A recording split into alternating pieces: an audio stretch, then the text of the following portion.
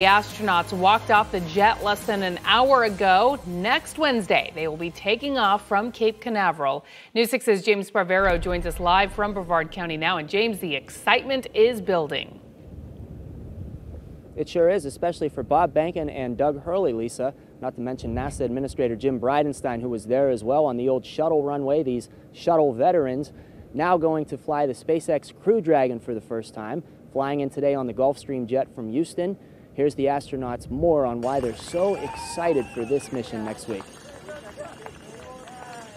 This is a, an awesome time to be an astronaut with a, a, new spacecraft to get a chance to go and fly. As graduates of uh, military test pilot schools, if you uh, give, gave us one thing that we could have put on our list of uh, dream jobs that we would have gotten to have someday, it would have been to be aboard a new spacecraft. We're looking forward to getting uh, up close and personal with uh, Falcon 9 and Crew Dragon here in just a few days. Bob and Doug will get to do that very quickly because Saturday, Matt and Lisa, that's their dress rehearsal when they're going to ride out to Launch Pad 39A back there. Elon Musk's Tesla is doing the drive out there. They're going to take the elevator up to the top of the launch tower. They're going to walk the crew access arm.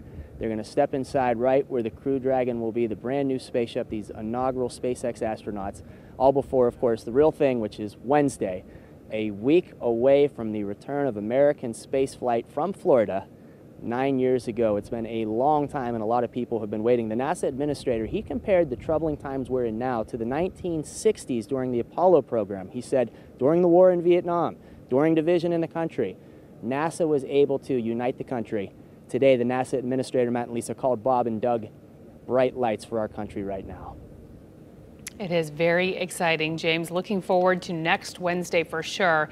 Ahead of the big launch, we want to keep you up to date on the latest space news in a convenient way. Everything you need to know can be sent right to your email. Just go to clickorlando.com slash newsletter, enter your email address, and check the box of the news you'd like to receive.